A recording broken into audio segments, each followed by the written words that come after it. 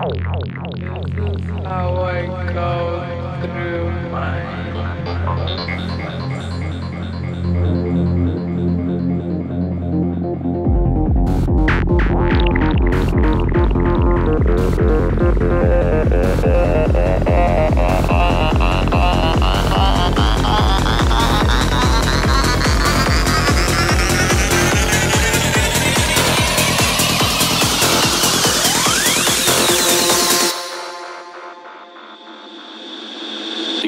subconscious mind. Mind.